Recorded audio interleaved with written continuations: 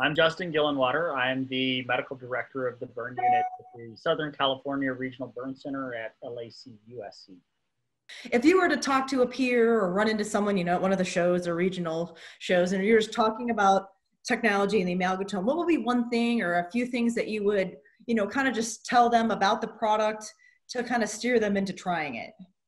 I'll just say it's it's it's um it is way more fun to use than a Weck or a Watson.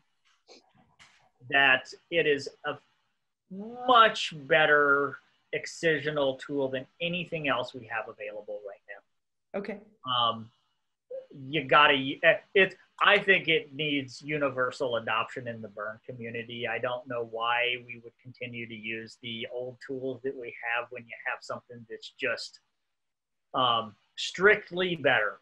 But I will tell you that it's by far the most precise, safest, efficient, um, fun excisional tool you can use. And I don't want to say fun, but it actually it just makes the whole process of excising way easier and faster.